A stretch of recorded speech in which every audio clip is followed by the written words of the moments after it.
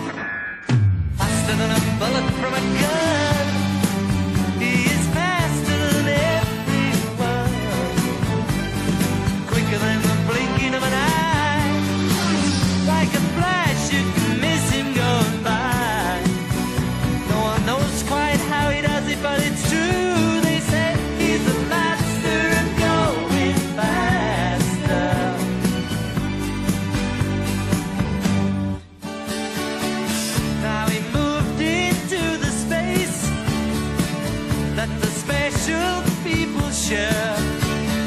Right on the edge of do or die.